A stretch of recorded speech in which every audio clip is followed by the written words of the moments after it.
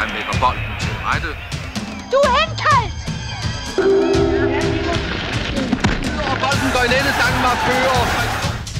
Og se her, skat. Ronaldo katte på den. Ryk, ryk. Hold da op, det var sammen med nogle hvide sjov. Jamen, det er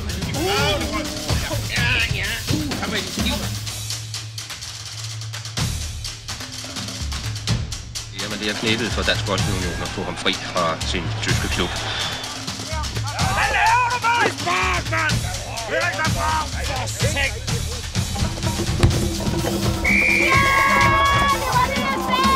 Det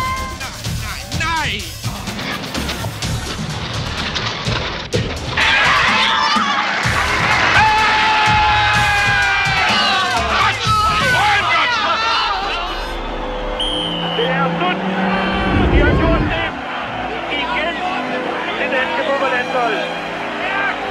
Denzel Bogolt, nach dem Triumph.